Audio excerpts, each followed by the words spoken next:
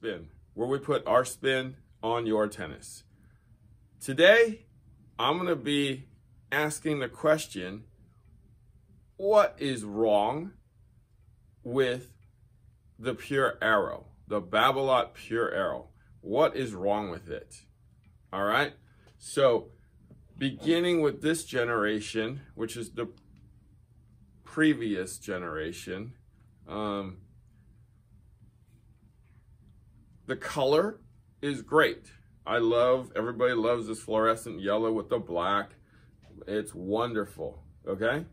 Now, the head guard sucks, okay? It's, it's a pain in the ass to put on. It wears out super quick. Um, I mean, I've seen people who've used this twice and the string is exposed after that. So the strings keep breaking. So you have to constantly change this guard out in this old version. Um, so that drove me crazy. I was changing guards left and right in this old version. And if you've tried changing this guard, it ain't easy. I mean, I, I can do it, but it ain't easy. And I got a lot of practice at it now, too.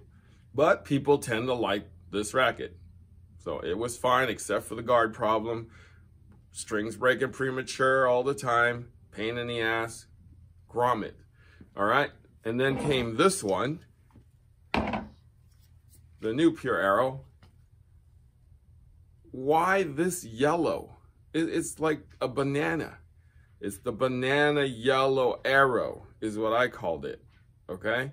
Now, when I complained about it to Babolat, they're like, oh yeah, you know, it looks great out in the sun. Well, yeah, I, I took it out to the sun and it still looks banana yellow to me. But when you hang this racket on the wall here, right, it looks like a banana yellow racket. Like I get no sun in the store, right? So it, it doesn't look great, okay?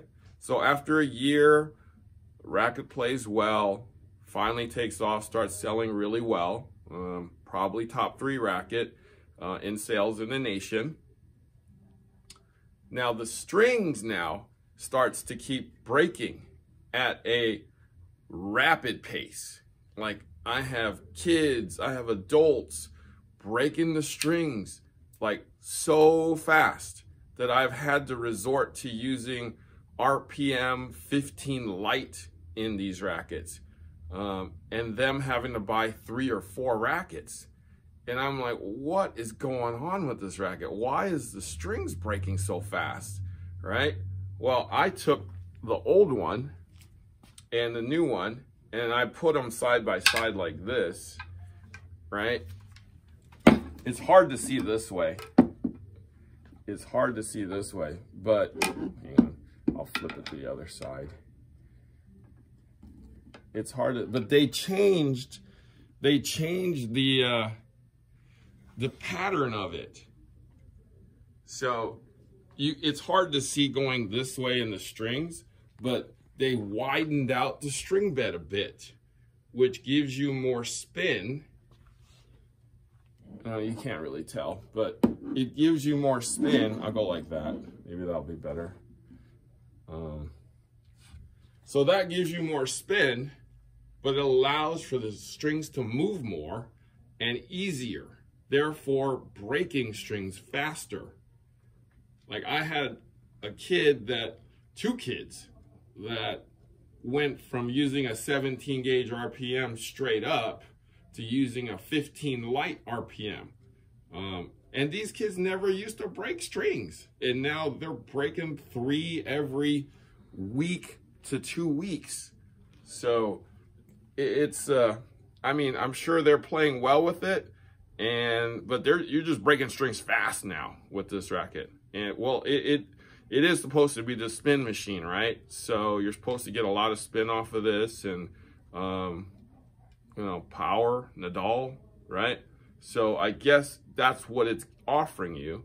But the downside is, I mean, you're breaking strings like potato chips here. All right. My third complaint is these rackets aren't very durable. I mean, I have, I have a rack full of cracked rackets up there. Like all these are from the last two generations, right? They crack pretty easily, right? And they crack usually at the top like that one. Yeah, see, at the top like that one. They're all cracking right at the top. So they're pretty fragile, uh, especially, you know, with junior players that play tournaments every weekend. I mean, they're switching, I mean, they're cracking rackets probably one every three to four months. That's kind of alarming to me.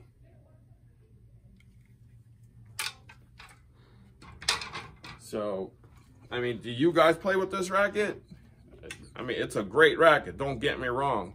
It's just there's some flaws in these rackets that kind of need to be worked out a bit. I mean, they, they took care of the head guard a little bit better in the new version.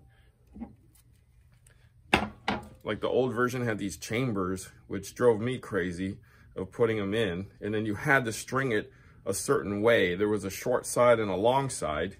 Um, and they, they took it out in this version, which was great for the stringers. So you don't have to think about it.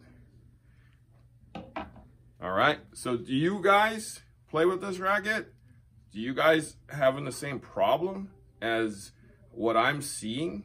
Um, do you love this racket? And, you know, no matter what happens to it, you're going to stick with it. Um, let me know. All right. Thanks for watching Tennis Spin, where we put our spin on your tennis.